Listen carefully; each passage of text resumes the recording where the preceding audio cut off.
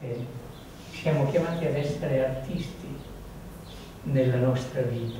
Artisti che vuol dire, eh, non è che c'è una regola, fai questo, sei un artista. L'artista viene fuori da un insieme di elementi che collaborano in contemporanea per creare un prodotto diverso da quello che è il prodotto abituale. Noi siamo chiamati a mettere insieme l'intelligenza, il sentimento, la psiche, la nostra capacità di volontà, la nostra volontà per realizzare quello che ci mantiene in salute.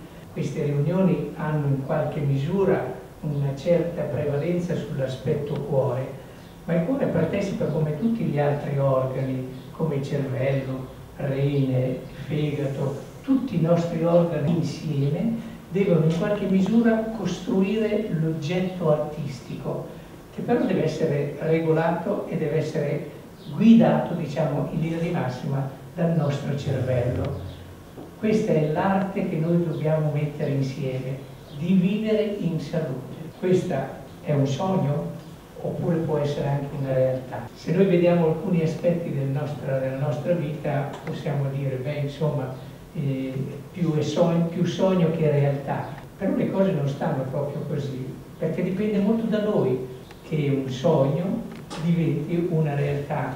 L'idea che possa essere un sogno è data da questo dato, vedete, report del settembre 2016. 49% sono le morti per patologia cardiovascolare, quindi non solo cuore ma vascolare, perché prevalentemente anche il cuore vive della patologia vascolare.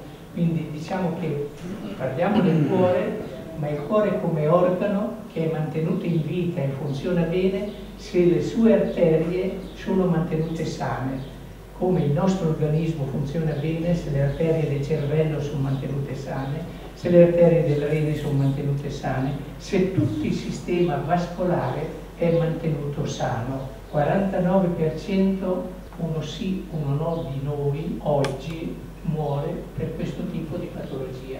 A questo si aggiungono un altro 30-40% di morti correlate alla malattia vascolare. Non si tratta solo del cuore, si tratta di tutto il nostro corpo proprio. E sapete quanti chilometri di arterie abbiamo noi? 100.000 chilometri di vasi. Sono i piccoli tubicini che partendo dalla orta, l'aorta è un tubo che ha queste dimensioni circa, 3-4 cm di diametro e qui si vede qualcosa, questo tubo rosso che viene fuori dal cuore, quella è l'aorta, diciamo all'inizio sono intorno ai 3-4 cm di diametro, a cui dopo questo tubo così si dirama in tanti rami sempre più piccoli, sempre più piccoli, sempre più piccoli. Quelli che arrivano al cervello, per esempio i capillari, le metà inferiori del cervello, hanno il calibro di un millesimo di millimetro, sono vasi veramente molto piccoli, però hanno anche loro una lunghezza, ecco, 100.000 km di vasi.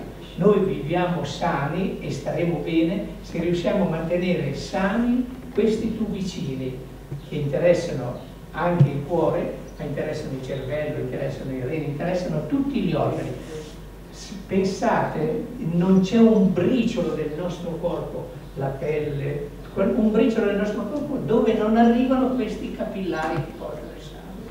E bisogna mantenere sani quelli. Quindi ci sono, diciamo, l'ipotesi, il 50% si muore per malattie cardiovascolari, più le patologie di altri organi che sono correlate al sistema vascolare perché tutti gli organi vivono bene, vivono sani se sono ben nutriti, cioè se a un certo punto le arterie si mantengono aperte. Questo era l'aspetto diciamo negativo che ci fa pensare che vivere sani possa essere un sogno.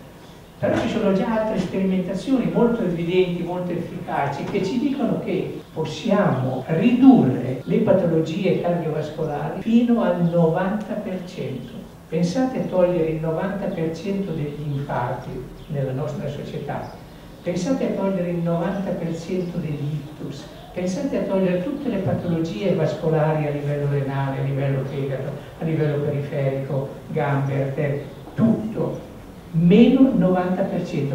Ma questo non è un sogno, questo è una verità già sperimentata.